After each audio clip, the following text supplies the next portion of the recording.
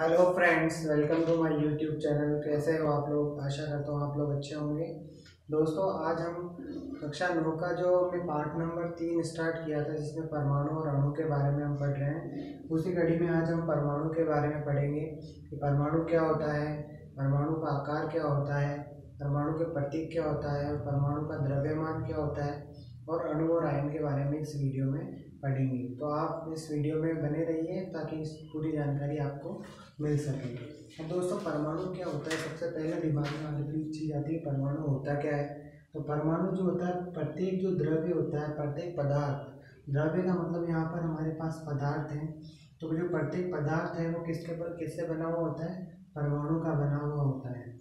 तो प्रत्येक पदार्थ जो होता है, परमाणु का बना होता है। परमाणु द्रव्य की सबसे छोटी इकाई होती है। यानी द्रव्य को अगर हम विभाजित करते जाएँ तो एक स्थिति ऐसी आएगी कि उसको हम और विभाजित नहीं कर पाएँगे। तो इसीलिए परमाणु जो होता है, वो द्रव्य की सबसे छोटी इकाई होती है। डोल्टन के सिद्धांत के अनुसार क्या है? परमाणु अविभाज्य है। मतलब हम परमाणु को और डिवाइड नहीं कर सकते। कौन सा सिद्धांत कहता है? डोल्टन का सिद्धांत कहता है। इसका मतलब ये होगा कि हर प्रत्येक द्रव्य जो होता है वो परमाणु का बना होता है और परमाणु द्रव्य की सबसे छोटी इकाई होती है और डाल्टन के सिद्धांत के अनुसार परमाणु अविभाज्य है मतलब परमाणु को हम डिवाइड और विभाजित नहीं कर सकते हैं। ये जो परमाणु की परिभाषा दी गई है, अब परमाणु का आकार क्या होता है इसके बारे में डिसाइड करते हैं। अपन अगर एक पेपर की शीट लेते हैं, उस पेपर की शीट को देखें तो उसमें कई लाखों की संख्या में परमाणु उपस्थित होते हैं। तो परमाणु की जो साइज़ होती है, वो छोटी होती है। हम उसे नग्न आँखों से नहीं देख सकते हैं। तो परमाणु की त्रिज्या की बात करें तो परमाणु की त्रिज्या की बात करें तो दस की घात माइनस दस मीटर इसकी हाइड्रोजन परमाणु की त्रिज्या होती है। यानी देखिए, एक मीटर का दस की घात दसवा भाग, दस की घात दसवा भाग जो होता है, वो हमारे पास में हाइड्रोजन परमाणु की त्रिज्या होती है। तो देखिए, हाइड्रोजन का परमाणु एक मीटर का, एक बटा दस के का दसवा भाग है। तो यहाँ पर हमारे पास दस के घात माइनस दस का मतलब होता है, हम इसको एक एक बटा दस मतलब एक एक एक बटा दस के घात दसवा हिस्सा होता है। यानी एक के बाद हम दस ज़ीरो लगाएँ। यानी इस इतनी छोटी त्रिज्या होती है इसकी। इतनी छोटी त्रिज्या होती है हाइड्रोजन परमाणु की। अगर हम जल के अणु की बात करें, जो कि होता है एस टू अगर आपको पता हो एस टू की जो त्रिज्या होती है, वो दस की घात माइनस नौ होती है। हीमोग्लोबिन अणु की जो साइज़ होती है, त्रिज्या होती है दस की घात माइनस आठ होती है। रेत का कण होता है, दस की घात माइनस चार मीटर का। चीटी जो होती है, उसकी साइज़ दस की घात माइनस दो होती है। और तरबूज जो होता है दस की घात माइनस वन मीटर उसकी त्रिज्या होती है। यानी हम जानते हैं कि एक मीटर में, एक मीटर में दस की घात सौ सेंटीमीटर होता है, ठीक है? तो दस की घात माइनस दो मीटर मतलब एक बटा का सौ इंटू सौ सेंटीमीटर, यानी एक सेंटीमीटर। जो चीटी की साइज़ होती है वो एक सेंटीमीटर की बराबर होती हैं। और ये एक सेंटीमीटर का सोवा हिस्सा जो होता है, दस की घात माइनस चार होता है। तो आप सोच सकते हैं कि जो परमाणु की साइज़ है, वो कितनी छोटी है? इतना आप नोट कर लीजिए।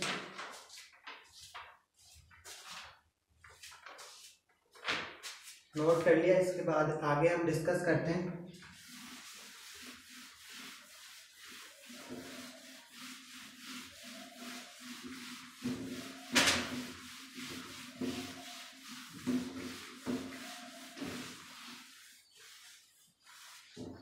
अब बात करते हैं हम परमाणु के प्रतीक।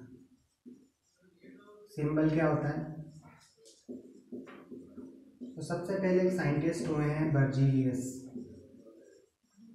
बर्जीलियस साइंटिस्ट हुए हैं। इन्होंने कई सारे तत्व जो उस टाइम ज्ञात थे उसके हिसाब से इन्होंने उनके परमाणु के प्रतीक दिए जैसे हाइड्रोजन जो है। हाइड्रोजन इसको इन्होंने ये सिंबल दे दिया। का, कार्बन हुआ। कार्बन को इन्होंने ये सिंबल दे दिया। ऑक्सीजन। ऑक्सीजन को इन्होंने ये सिंबल दे दिया। फास्फोरस। फास्फोरस को इन्होंने ये सिंबल दे दिया।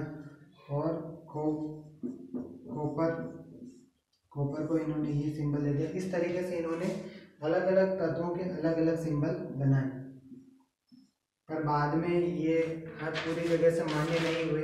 इसके बाद में जो हमारे पास में प्रणाली आती है, उसको हम बोलते हैं I U P S C I P S C full होती है international union for pure and applied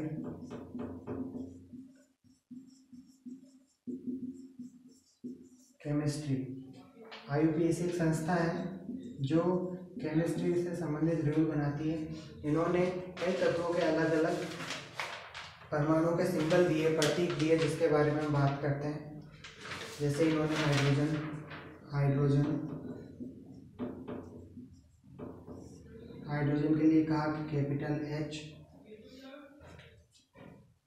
hydrogen helium इसके लिए एच ई कार्बन के लिए सी ऑक्सीजन के लिए ओ